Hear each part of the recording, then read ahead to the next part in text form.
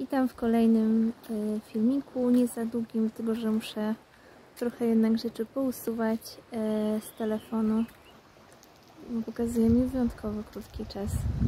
E, Dawno nie widziałam takiego krótkiego czasu na tym nagrywaniu.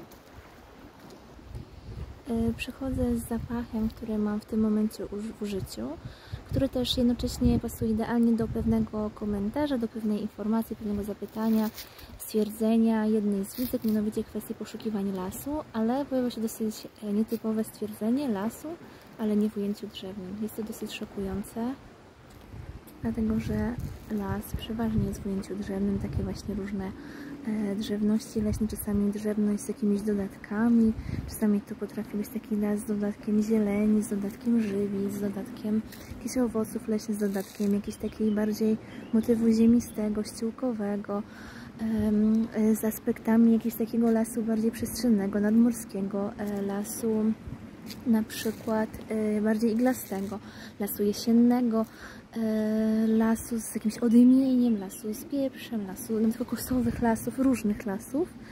E, Natomiast jednak e, ten motyw drzewny jest jakiś taki dosyć znaczący, więc to trochę mnie zdziwiło. Jeszcze nie zdążyłam dopytać, e, o cóż to chodziło. Wydaje mi się, że to chyba chodzi o taki aromatyczny taki las, bardziej taki pod kątem takiej zieleni, a może też żywice, nie wiem. W każdym razie, jeżeli chodzi o zieleń, jeżeli chodziło, chodziło o coś takiego, to mogę tutaj zaproponować bardzo dobrą propozycję, która została przez nas dosyć niedawno odkryta. Testował Darek, testowałam ja. Unum Sorcinelli e, Epicentro, Epicentro. Zapach, który chyba wcześniej był dostępny gdzie indziej, ale pojawił się również w ofercie Unum dla Musenbar. To jest faktycznie taki mocno zielony, mocno aromatyczny las, bardziej zielony niż drzewny. Rzekłabym, że w tej swojej aromatyczności zielonej bardzo intrygującej, bardzo silnie zielony.